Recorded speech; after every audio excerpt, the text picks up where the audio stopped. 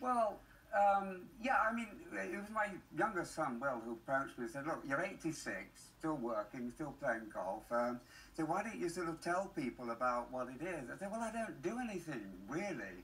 Um, and the book, How to Live a Long and Healthy Life, is mainly about balance and moderation. You know, if you're dieting too intensely or exercising too intensely, that may not be good. And the key really is to enjoy yourself. Mm-hmm. And one of the main enemies in modern life is stress, and that's where meditation, in, in a very simple form, not a, not a highly spiritual thing, very simple form of just sitting quietly for five minutes a day can help with stress.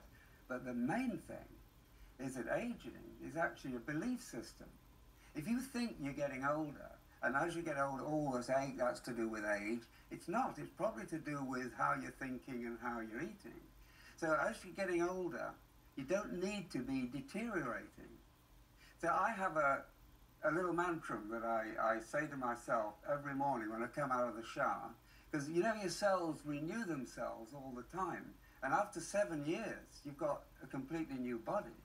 Oh. So if you think you're aging, you're slowing down, the renewal process also slows down. Because your, blood, your blood changes every seven Yeah, it's a self-fulfilling prophecy, isn't it? So each morning, when I get out of the shower, I say to myself, as my cells renew themselves, they renew themselves with a younger, healthier, rejuvenating cell. Therefore, I'm getting younger, healthier, and I'm rejuvenating. Amen. nice one.